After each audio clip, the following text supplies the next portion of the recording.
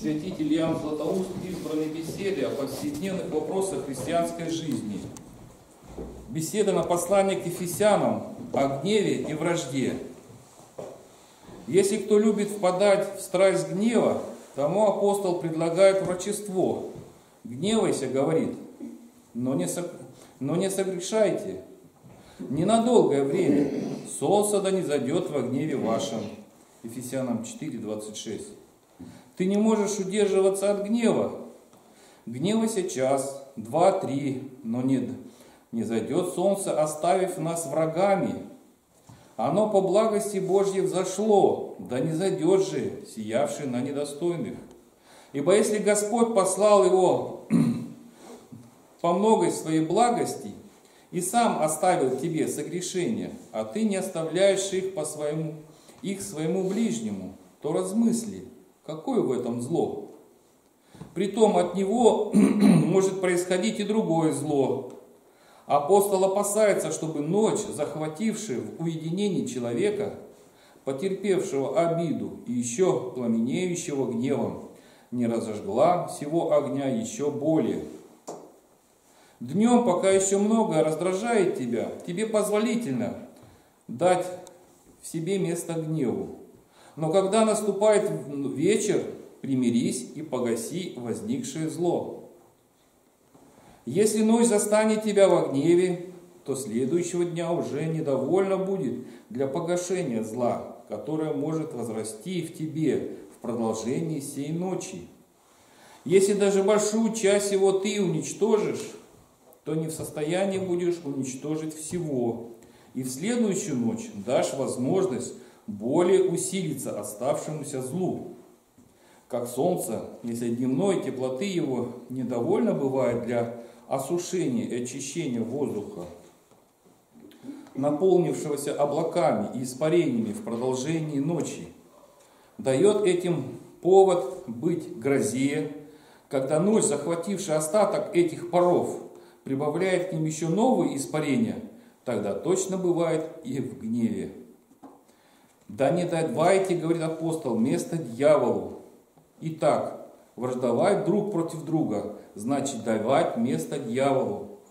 Ибо тогда, как должно нам соединиться вместе и восстать против него, мы, оставивши вражду против него, позволяем себе обратиться друг на друга. Подлинно, ничто так не способствует дьяволу находить место среди нас, как вражда. И сколько зол рождается отсюда, как камни, до тех пор, пока они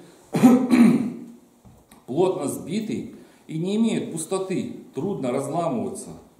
Коль же скоро окажется в них скважина, хотя бы такая малая, как острие иглы, или сделается трещина, в которую можно лишь продеть один волос, распадаются и разрушаются, так и при нападениях дьявола. Пока мы будем тесно соединены и сближены между собой, тогда он не может вести ни одного из нас, ни одного из своих наветов. Но когда хотя немного он разделит нас, тогда вторгается к нам подобно бурной волне. Везде ему нужно только начало. Это для него самое трудное. Когда же начало сделано, тогда он уже сам собой все подвигает вперед. Так лишь только Он открыл твой слух для клеветы, и лжецы уже приобретают твое доверие. Ибо руководствуются своей ненавистью, осуждающую, а не истинную, правосудящую. Ибо как во время дружбы даже справедливым, нехорошим слухам не хочется верить, так при вражде, напротив, и ложные слухи принимаются за истину. Другого тогда бывает, другой тогда бывает у нас ум, другое судилище, выслушивающее не с, с равнодушием, но с пристрастием и предубеждением. Как положенный на весы свинец все перетягивает, так и тягчайшая свинца тяжесть вражды. Посему прошу вас, будем всячески стараться о том, чтобы нам до захождения солнца погашать свои вражды. Ибо когда ты не обуздывал свои вражды, первый и в последующий день, то часто продолжал ее целый год. И, наконец, она собою усилилась так, что уже не нуждалась ни в чьем возбуждении.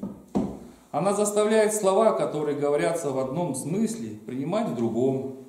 Заставляет подозревать движение и все, что не есть, перетолковывать в худую сторону. И тем ожесточает и раздражает человека, делая его хуже бесноватых. Так, что он не хочет ни назвать, ни слышать имени того, против кого враждует, но всегда называет его бранными словами. Как же мы смягчим свой гнев? Как погасить этот пламень?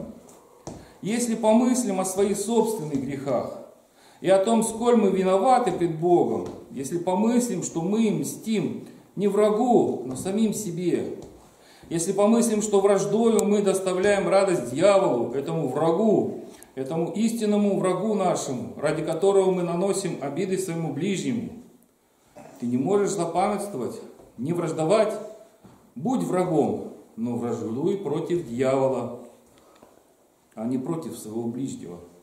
Для того и дал нам Бог вооружить гнев, чтобы мы не собственные тела поражали мечом, но чтобы вонзали его все острие в грудь дьявола, везли туда свой меч по самую рукоять. Если хочешь, вдави и рукоять, и не извлекай его никогда оттуда. Напротив, вонзи туда еще и другой меч. А это произойдет тогда, когда мы будем щадить друг друга, когда будем миролюбиво расположены друг к другу. Пусть я лишусь денег, пусть я погублю свою славу и честь, но мой член всегда для меня дороже. Аминь.